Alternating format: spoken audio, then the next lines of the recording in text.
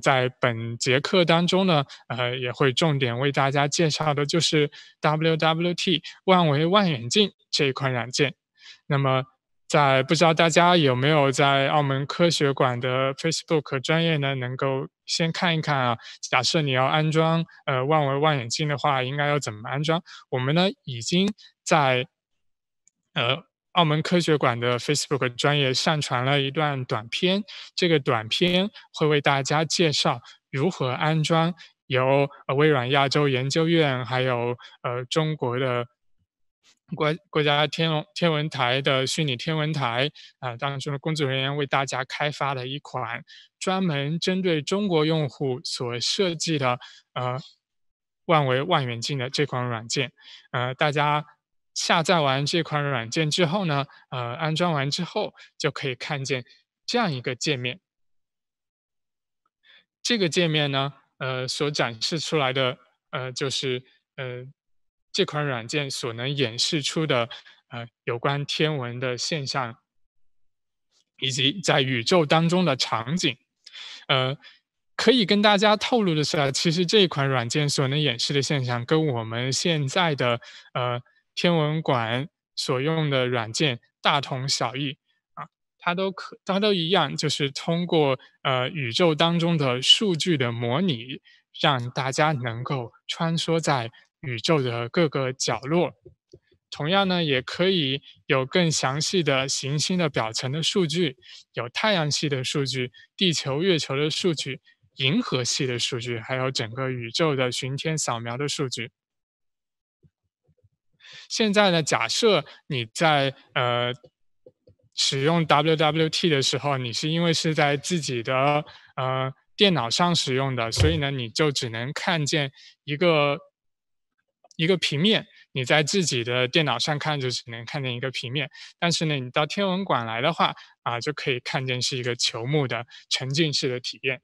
那么我们现在啊就没有办法，我们先用这个平面的方式来感受一下。在这款软件当中呢，它分为了几个区块，我们再来仔细的观察一下。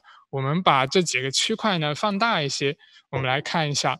首先呢，是在这款软件当中最上层的几个区块，它分为了探索、漫游、收藏夹、搜索社区、显示、设置和帮助。在首先你打开软件之后呢，你可以做的第一件事就是点开显示这个按钮，然后你把自己的位置设定为澳门特别行政区，在北纬二十二度，东经一百一十三度。设定在这个位置之后呢，嗯，将有机会呢，能够从澳门的视角来观看星空。同样的时间，它就是根据你的呃现在所设定的时间，然后按照实时的演示来进行的。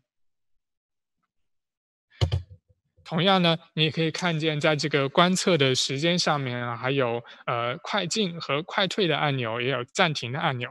你也可以尝试着，好像使用那些古代的机械一样啊，把时间调快一点，看看未来的星空、未来的太阳系是什么样；或者把时间退回到以前，看一看古代希腊人看见的星空啊是什么样的，看一看清朝的时候的人看看的星看见的星空是什么样的。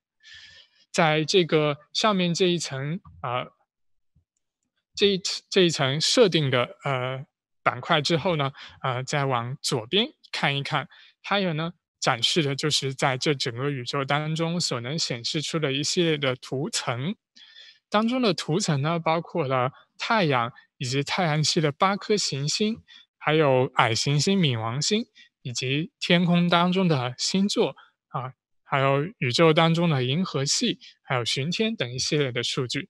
那么，在这款软件当中，最主要的画面啊，实际上就是大家所看见的右下角这一块，它所能演示出的就包括呃太阳系、宇宙呃的巡天啊、银河系，以及各每一颗呃已经有数据真实数据所建立的行星的表面。呃，我们现在呢，其实也可以来。来看一看，呃，我们现在呢打开了万维望远镜，我们来，我先为大家打开万维望远镜来看一看。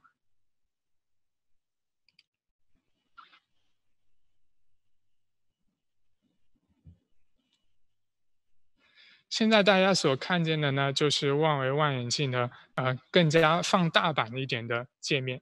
在这个界面当中呢，大家可以看见上面一排就是刚刚我所介绍的有关设定的栏目，左边呢就是呃图层栏，就包括了每一颗星球你想要它显示还是不显示啊等一系列。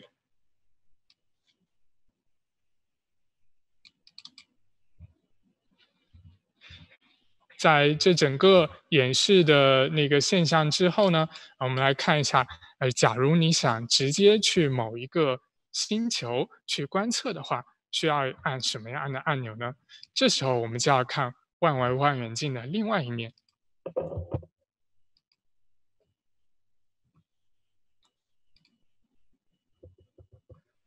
万维望远镜的最下面一栏，现在我们所能够有照片。真实的拍摄到的太阳系的八颗行星、太阳的表面，以及冥王星、地球的卫星月球，还有木星的四颗伽利略卫星等一系列的影像，都可以在啊太阳的呃在在这个万维望远镜所演示的太阳系的这个指向当中找找到。以及看一下，呃，假设在刚刚的这一个。全景的导览图当中，你所要找到的呢，是在这个整个的界面图层当中的最下面。你可以直接选择你想去哪一颗星球。那么我们现在呢，就来演示一下，假设我想要去地球的话，那要怎么做？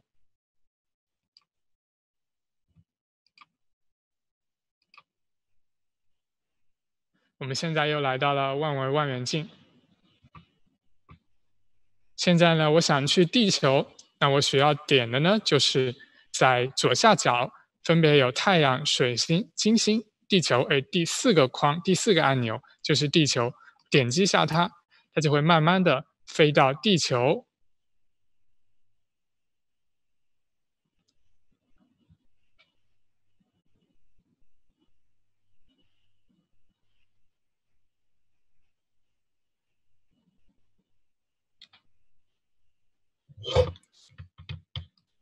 现在所在的位置呢，就是地球。大家呢就可以看见地球上所演示出的白天黑夜的样子。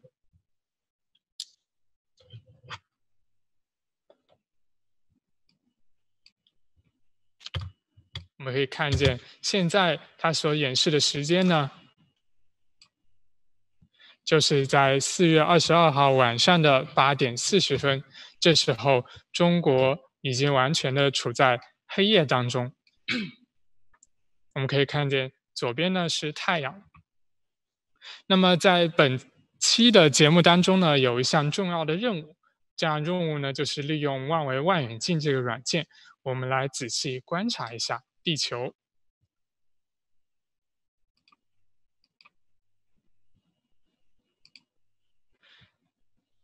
这里呢有一个万维望远镜的观察任务，观察地球的细节。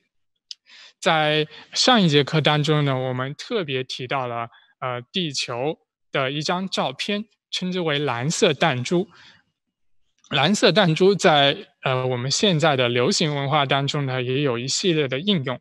比如呢，呃在呃著名的世界三大呃国家和地区拟人的。呃，动画作品当中呢，有一部叫做《黑塔利亚》的作品，啊，它这是我现在所展示的图片呢，是这个作品当中的呃一个唱片，它的封面，呃，它呢有一首主题曲，主题曲就称之为《圆圆的地球》，它呢所展示的是世界上各个国家站在圆圆的地球之上，而这个圆圆的地球呢，就是在 NASA 所引呃所照出来的这张呃蓝色弹珠的照片。蓝色弹珠的照片呢，除了在这些文流行文化当中出现，实际上你假设有用自己的呃社交媒体、社交软件，比如用的微信当中呢，WeChat 当中呢，它所展示出的这个开机的画面，用的呢也是蓝色弹珠这个这张照片。那么这张照片呢，非常准确的就对应了在。上个世纪啊七十年代所照射出的蓝色弹珠这张照片。我们可以通过观察啊发现，哎，地球好像一颗蓝色的弹珠。既然是一颗蓝色的弹珠，那它就应该是一个近似的球体。这里呢，就有一个问题了。假如人类没有飞出过地球的大气层的话，我们要怎样证明地球是一个近似的球体呢？大家有没有想过这样的问题？我明明没有飞出去。这张照片呢，是太阳神十七号太空船的船员在飞往月球的过程当中照的，给地球照的一张照片。他可以看见，哎，地球是一个球体。那假设我们没有飞出过地球的大气层，我们要怎样证明地球是一个近似的球体呢？有没有人想在呃评论区当中回答一下？假设没有的话，没有飞出过地球的大气层，我们怎样证明地球是一颗近似的球体？在这个思考的时间当中啊，想给大家看一看，嗯，在万维望远镜当中所展示出的地球，那么它。假设你是太空当中的宇航员，你想要拍出一颗蓝色的弹珠的话，你应该在这个视角，就近乎是地球白天的这样一个视角，就能够拍出一颗蓝色的弹珠。那么这一段时间，大家有没有思考好，怎样证怎样证明地球是一个近似的球体呢？实际上，在大约两千多年前的古希腊就有哲人啊，就已经开始思考这样的问题了。那么他是要怎么样解答这个问题的呢？这里啊，我们也是一样，想要又利用科学的方法。这个方法呢是提出问题、建立假设、实验验证并得出结论。这时候呢，就有人观察了，诶，他说。好像，呃，我在海上航行的时候，看见远方有船开过来。我首先见到的是这艘船的桅杆，那么这之后，慢慢的才会见到这艘船的船身。因此呢，他想利用这样的现象来证明，哎，地球是一个球体。所以呢，我会先看见远方的船开过来，是先看见最顶上的。然后再会才会看见船的船身，那么这个现象是真实的吗？确实是真实的。比如呢，有网友呢就拍摄了这样一系列的照片，他所展示的呢就是一艘船在渐渐的远离的时候所出现的现象，慢慢的整个船身不见，只剩下船的啊最上面的一系列的机械在。这个现象呢所能演示的呢就。就可能啊，就能够证明地球是应该至少是一个有弧度的这么样一个物这样一个形状。但是还有方法能够证明地球是一个近似的球体吗？哎，古代人又在思考了，还有方法啊，比如呢，他们有观察到月食，他们在观察月全的时的时候啊，发现，嗯。好像有一块影子能够遮住了月球的表面，但是呢，这个影子它也是有弧度的。这个影子呢，大概应该就能反映出遮住它的这一个星球啊，它的轮廓是什么样的。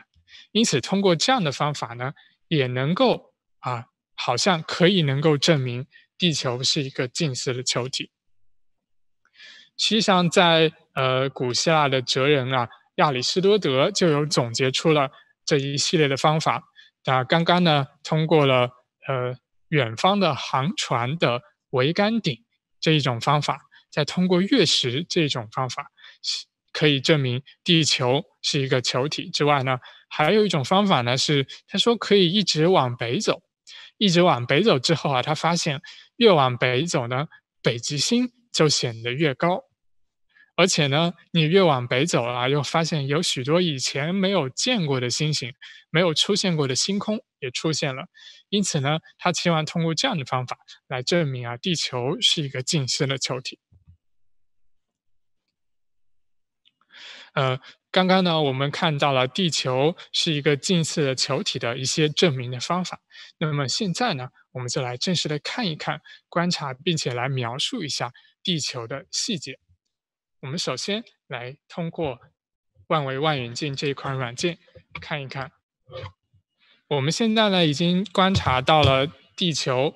观察到地球的同时，我们刚刚已经得出了第一个结论：地球是一个啊近似球形的球体。那么，地球表面还有什么样的细节值得我们进一步的观察呢？我们来说几个特征吧。呃，地球表面，地球的形状啊是球体。那么，地球的颜色是什么样的呢？哎，大家都说，刚刚其实照的那一张照片当中已经所。的标题就已经显示到了，啊，这是一颗蓝色的弹珠。所以呢，我们可以看见地球的表面基本上啊，大大块大块的都是蓝色。但是呢，我们还可以看见有一有一些啊，好像不是蓝色的地方。这些呢，又是什么地方呢？比如我现在所演示的这一块地方，好像比较黄啊。这块地方，它所展示出地球表面的一系列的纹理。这个纹理呢，假设的是，呃，基本上这一块就是沙漠，就是撒哈拉沙漠所在的地方。如果我们再往南看一看，地球的表面还可以看见的是，也有绿色的东西。这绿色的呢，所展示出的就是在地球表面的植物所能覆盖的这一块区域。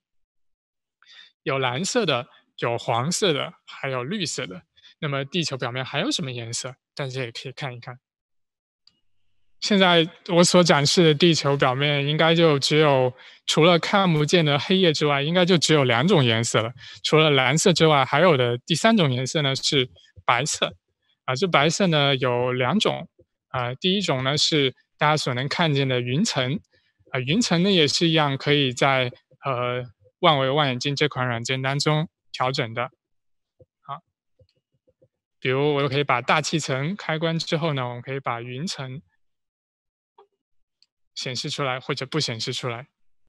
呃，除了云层之外呢，这一小块，这一小块所显示的就是，南极洲的冰层，它也是白色的。好，我们刚刚呢通过观察和描述的方法呢，我们描述了地球的形状，也描述了地球的颜色。我们呢还通过呃一些仔细的放大的一些细节，我们来看到了地球表面的一系列的纹理。呃，在以前呢，曾经有一段时间在网络上流传了一张非常广泛的图片。这张图片是什么样的呢？我们来看一下。哎，这张图片他说是这样的。他说呢，假设把地球的水表面的水都抽干了之后，那地球的本体是什么样子？哎，这张图片大家觉得是不是好好像出乎我们的意料？实际上呢，这张图片所展示的啊，并不是真实的我们所能描述的地球。这张图片所展示的是。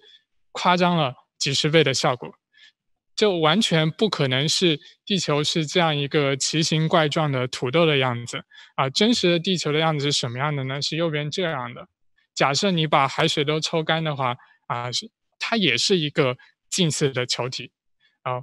我们虽然呢就是在网上有看见一些呃图片，好像非常夸张，能够吸引眼球啊，但是我们呢还是应该啊要仔细的想一想。啊，它真的是这样吗？啊，这张图片啊，虽然演示了啊，它所所能演示的就是把海水抽干之后啊，地球表面的的高低起伏的样子，但是呢，它夸张了十几倍的效果。为什么左边这张图片呢？呃，实际上非常的夸张呢？我们来仔细想一下，地球的半径是多少呢？地球的平均半径是。六千四百公里，对吧？六千四百公里，那地球上最高的山呢是哪里？地球上最高的山是喜马拉雅山的珠穆朗玛峰，对吧？它的高度是八千八百四十四米。那么你可以想象一下，呃，对于六千四百公里的整个地球的半径来说，啊，这八千多公里，它是一个非常大的起伏吗？显然它不是一个很大的起伏。